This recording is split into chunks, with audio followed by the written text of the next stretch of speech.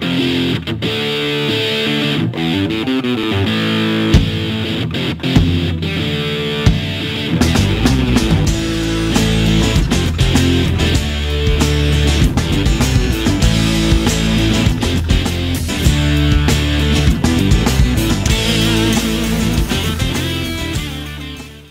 Welcome back to another episode of Guitar Talk with Todd. Here is the audio edition of a portion of my interview with the great Peter Frampton. This was originally published in print and online in 2019. I am releasing this audio in celebration of Peter's birthday this past Friday. So happy birthday to Peter. Please like and subscribe to my YouTube channel and enjoy my interview with the great Peter Frampton. So, how old were you when you first started playing guitar, Peter? Um, eight. okay.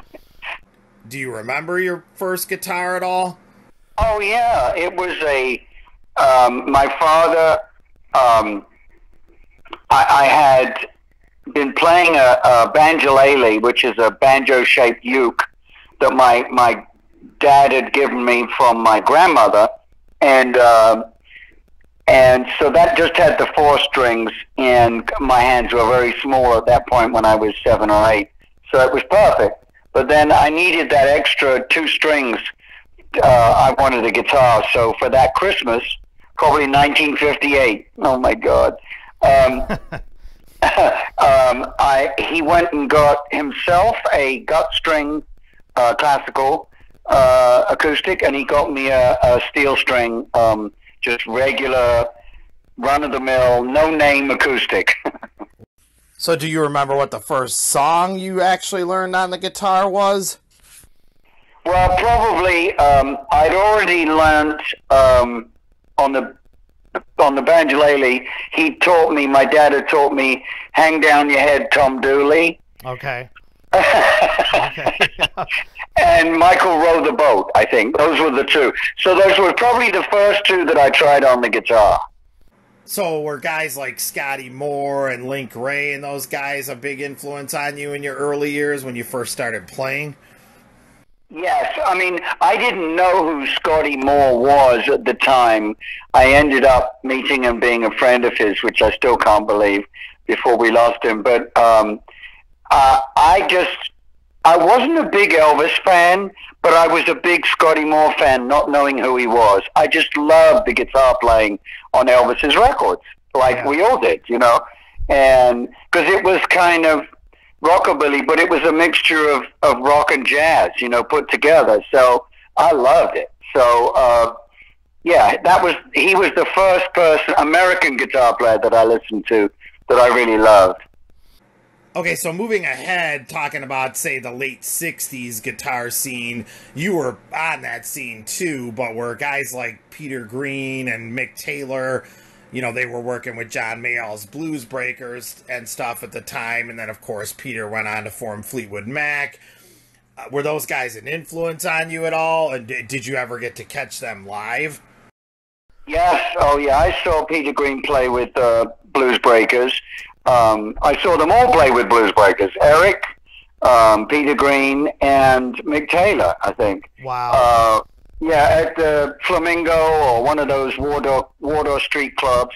That was the the beginnings of uh, you know with Clapton. I saw Clapton too with with Blues Breakers, and uh, in fact, I just told him that when we did Crossroads. wow. so um, uh, those those ones you mentioned, Mick Taylor, or I mentioned, uh, Peter Green, Eric Clapton, all of those um, were, I was, I loved all their playing, you know, at that point. And um, so did everybody else. That was when you'd go, you'd drive around London and on the overpasses, you'd see the, the train bridges, you'd see uh, graffiti and it said Clapton is God, you know. Right. So wow. So now, what I, I, know you've always said Django Reinhardt was, and you were influenced by him, and I believe I read you actually took classical lessons too in the early years, right? Or... Yes, yes. Okay, now, so how did the? I mean, Django Reinhardt is kind of. I love his stuff, but I mean that that kind of came out of left field. Like, how did you sort of get into Django originally? Well, um, by default, um, my parents um, danced to the Hot Club de France, which is Django Reinhardt, Stefan Grappelli, and the other guys in the band, and um, that was their music that they go up to London and dance to before, during, and and uh, uh, probably right after the war. Um, and um, so when when we got our first record player, um, uh, I think I got for Christmas, I got uh, the Shadows' first album, and my dad bought himself and mom um, the best of uh, Hot Club de France. So I would put my, it was in the living room, so we were all there in the living room, you know, and I would play my Shadows album and play along with it with the guitar. And then I'd, uh, I'd go upstairs to uh, leave the room and go upstairs to uh, practice in my bedroom, and they would put Django Reinhardt on, and I couldn't get out of the room quick enough. You know, it was like, what is this? You know, so first of all, it's not electric, and secondly, I don't understand what's going on. So it sounds like like my kids used to my because I did it to my kids too. My kids said, "Oh God, Dad's listening to that silent movie music again." oh, that's hilarious. So anyway, um, each this would happen over and over and over again, and I, in the end, I didn't leave the room. I stayed in the room while he played Django Reinhardt. Right. And I suddenly started to smile and go, "Holy crap, this guy's good." Yeah. You know, and and from a very early age, I realized I'll never be able to do this, but I'm going to give it a good try. right, right. And wow. so, so it was my uh, uh, the person that was my mentor to start to start me off was Hank Marvin from the Shadows. Um, but at the same time, um, I was listening to the extreme um, talent uh, uh, and um, dexterity uh, of Django Reinhardt flying up and down the fingerboard with only two fingers working. You know, so um, I, I was I was caught by the jazz bug at the same time as I was caught by the rock bug. So and blues, rock, rock, blues, and jazz. It all sort of happened at the same time for me. So they were always. I wasn't one or the other until you know I. Um, during the herd, I was listening to a lot more jazz because everyone was starting to sound like Eric Clapton, and I I thought, well, there's already a couple of those guys that are really good. Peter Green, you know, yeah. uh, Eric Clapton, and um, and so I thought, well, um, I think I'll go the other way. So that's when I I changed my listening to everything to specifically just listening to jazz for a while, and that was during the herd period. So that when I got to Humble Pie, that was the formula that was when I formulated what I I call my style because um, I had obviously been listening to rock. I'd obviously been listening to blues. I'd obviously been listening to jazz, and Humble Pie was um, an area where I could combine all three, and it would work because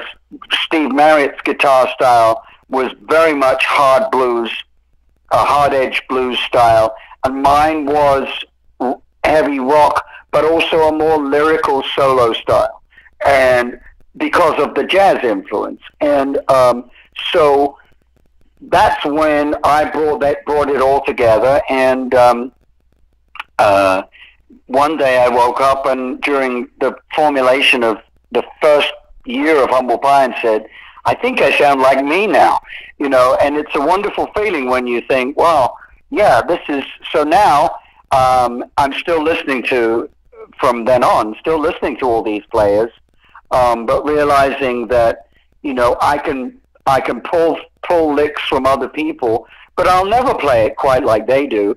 And what do you do? You play it like you.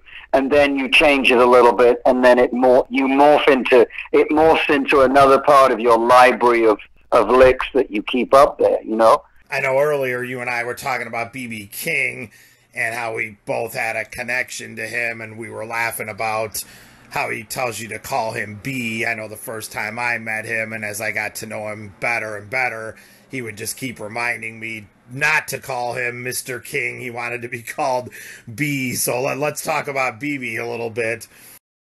So the first time I, uh, uh, the first time uh, I met BB, I'd never met him before. See, and uh, so I I got on his bus, and they told me he's in the back, so I go to the back of the bus, and I'm nervous as anything, you know. And I said, um, Mr. King, I said, call me B, call me B, you know. And I said, okay, B. Um, and, and I said, uh, would it be okay if um, if we? Uh, and he said, Peter, sit down. sit down. I said, okay. And he just he sort of looked at me, smiled, and he said, "This is your show. You tell me what you want me to do, and I'll do it for you." And I was just on the floor, like, "Oh my God, this yeah. is the this is my kind of guy. He's so humble um, for being such an innovator, and I just we became instant friends. You know, it was unbelievable. Well, I know when you did the Framptons Guitar Circus shows, you would go out every night and play with BB on The Thrill Is Gone. Yes, um, when we announced that we were going to do the, the Guitar Circus, and we put out some invites, BB was the first one that answered, literally, um, and said, "Count me in." And I couldn't believe it. I was just blown away. And uh, then then he said, "Well, you know, you got to come and play with me every night." I said, "What?" He said, "Yeah, I want you to come out." So I was wherever I was backstage. If I wasn't watching, I'd hear. Uh, the king wants you. so out I go, and, and of course he was sitting down at that point. So I sat with him on a chair and got all these wonderful pictures of me and him playing together. So it was that was uh, that was something very very special. That's great. Okay, so you were reunited with your Black Les Paul a few years back. Um, I know you had been missing that for 30 years. That's such a great story how you were reunited with that is that the guitar you've been primarily playing? I, I, I mean, I can see why you would. you have to have missed it being gone for 30 years.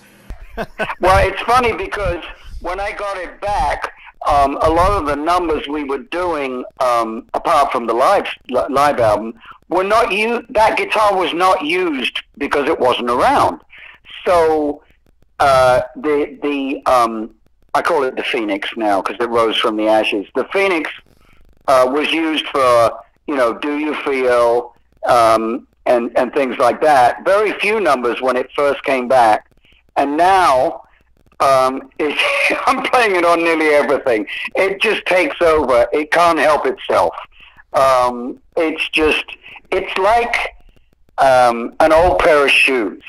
Um, you know, they say never wear a new pair of shoes on stage, uh, and it's so true.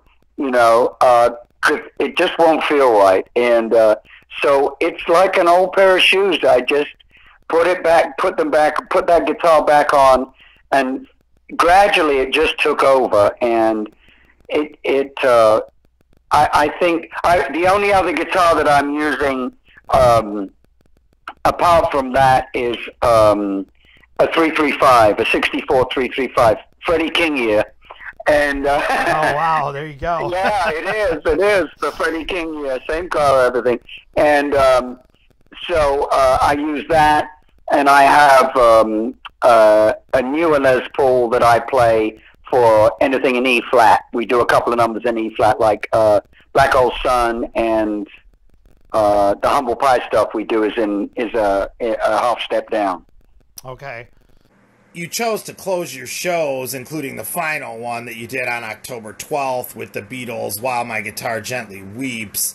Uh, I think that's an incredible choice. What does that song mean to you? I mean, obviously, we all love the song, but does it have an extra special meaning to you? Was there a particular reason you chose that song to close with? Um, well, I originally chose it because uh, I, obviously of my friendship with George Harrison, and when we lost him, um, uh, it was I think in November of that the year that we lost him, and then in January I was living in Cincinnati at the time. I was doing a um, uh, a charity uh, put on a charity show with all local talent plus myself as the headliner, and um, and, decided um, that I wanted to pay tribute to George. And so I called the band like the day before the show and said, look, I'd like to try My Guitar Gently Weeps at the sound check. Um, see if we could, you know, because it would be great to do that um, as the last number as a tribute to George uh, for the charity show. So anyway, we did it that night.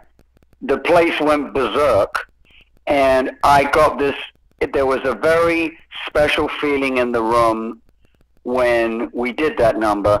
And we've done it, not every show, but a lot of shows since then. We've closed with it because it's kind of, um, it, it's something that you can't really put into words. There's a feeling that everyone gets in the room, uh, including obviously us from the stage, that everyone just if you're going to say goodbye at that point with that last number, it's a hell of a way. It's such a powerful song, and um, it just draws everybody in, and it, it's um, it's just been one of my favorite live numbers to do, and I think it it just says goodbye in a nice way.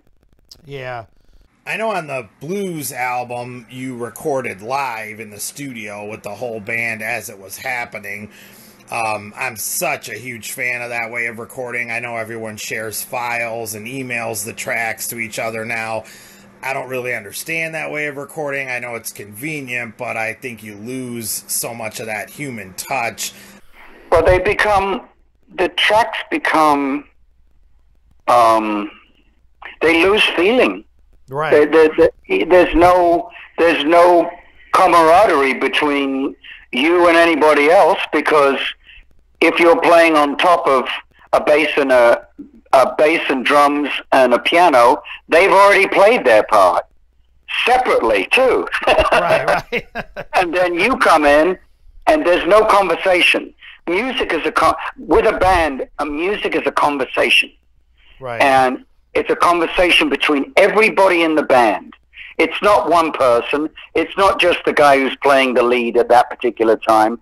We all get behind and listen to everyone who's playing, and that changes the way you play to accommodate what they're playing, and then you play something that you didn't think you were going to play because of what they played, and you bounce. It's it's it's as I say, a living, breathing thing. Is a live band, you know, and and it's you it might be a number you've played a song you played many many hundreds of times but every time you play it it's slightly different and that's what we do. We try and make things a little different every night um, because uh, otherwise it would be would be you know boring